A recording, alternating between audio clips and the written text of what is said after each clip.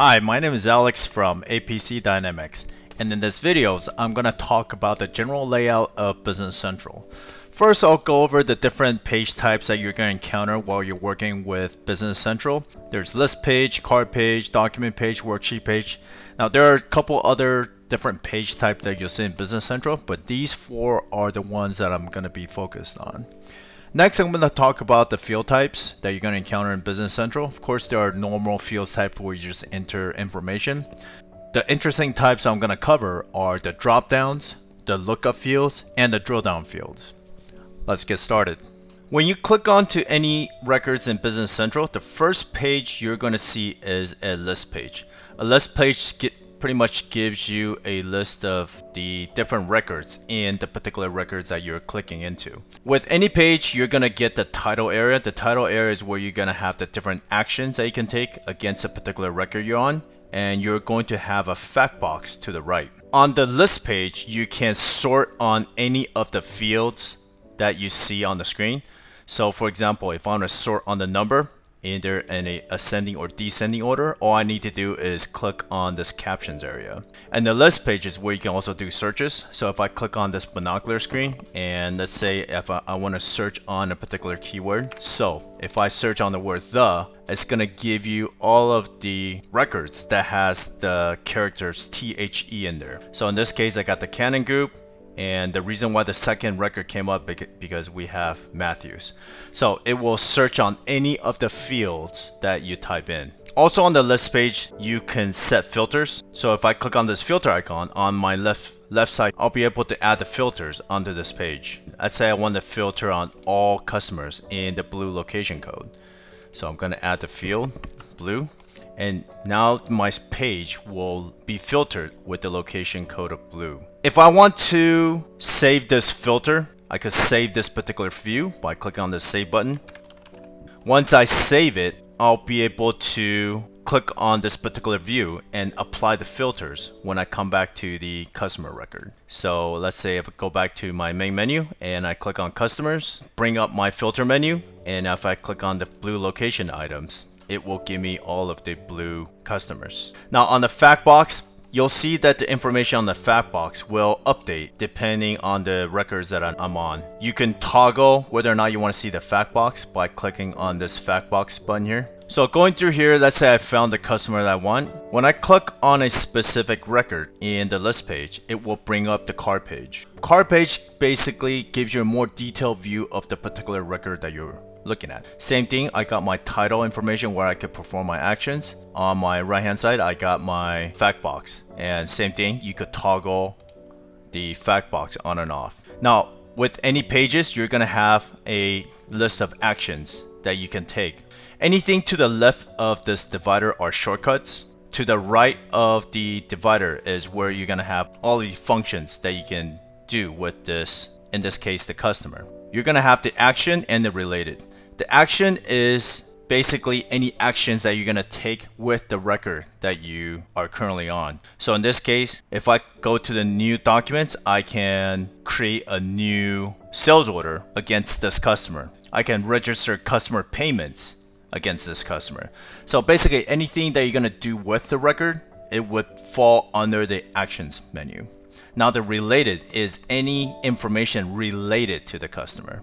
Okay, so if I want to see the ledger entries for this customers, it's going to be under the related. If I want to see any kind of uh, sales prices that I've set up for this customer, it's going to be under related. So the difference between action and related is action is, is the action that you're going to take against the customer. The related is any information related to the customer. And reports is just reports for this particular record. And automate allows you to create flows using Power Automate against this particular record. And you're going to see this repeated throughout every record that you click into. So for example, if I go to the vendors, you're going to see the title section, the fact boxes, and the list page. If I click on a particular record, it's going to give me the card page. And you're going to have the action and the related. Now, if I go to the items, uh, it's going to bring up the list first. It's going to have my title page. I can toggle on and off the fact box and if I click into the record it's gonna give me the card page The next type of page I'm going to talk about are the document page. The document page are typically your sales orders, purchase orders, credit memos. So if I bring up a sales order, same thing, it's going to give me a list page that displays all of the sales orders that are in the system.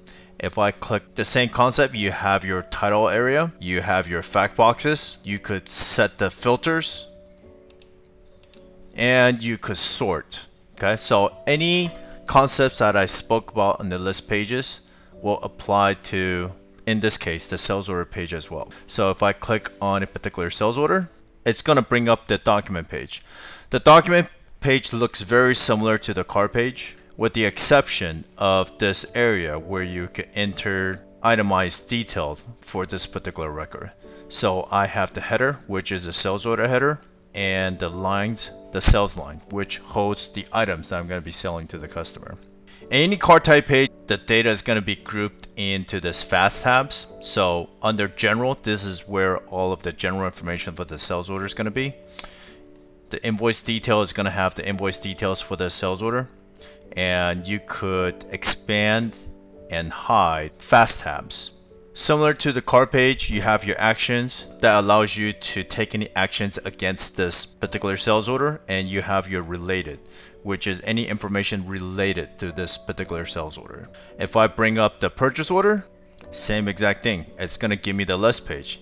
If I click on a purchase order, it's going to give me the document page that has my header information and the line details.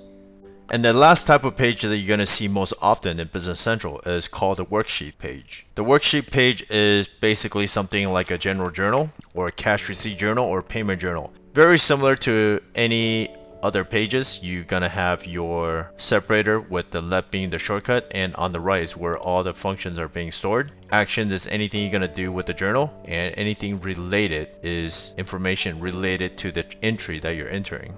So on the general journal, you could type in any kind of any type of information. So you could enter the GL account, enter the amount, and to balance out these this GL account, you could enter a second account. So the worksheet page is essentially a page that allows you to enter transactions into Business Central to be posted into the ledger entry.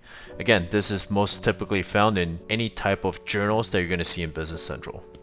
Alright, so that was a general overview of the different page types you're going to see in Business Central. Next, I'll talk about the different field types that you're going to see when you're working with Business Central. Uh, of course, there's normal fields. I'm not going to talk too much about that.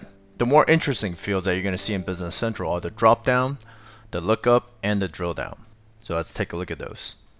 To demonstrate the different field types, I'm just going to use the item card. The first type of field that you're going to see is the called a drop down. So when you click on this down arrow here, it's going to give you a predefined list. This list is pre-programmed, so you're not going to be able to edit the contents of the list. You could only select from it. So that's the drop down.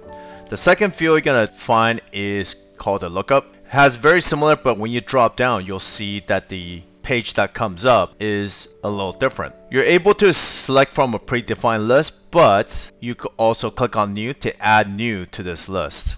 Or if you want to make edits to this list, you could just click on select from the full list and click on edit list and you'll be able to edit the contents of the list that you can choose from. The last field that you're going to see is called the flow field or the drill down field. The drill down field are typically a calculated value. In this example, if I'm looking at quantity, this field tells me that I have a total of 344 in the system. If I want to know the details of what makes up this 344, I could click on the drill down and it's going to give me all of the detailed transactions. Same thing, if I look at my quantity on purchase order, I drill down on my quantity purchase order, it's going to give me all of the quantities that are on the purchase order. And that's it. If you have any issues or questions on the general layout Business Central, please let me know.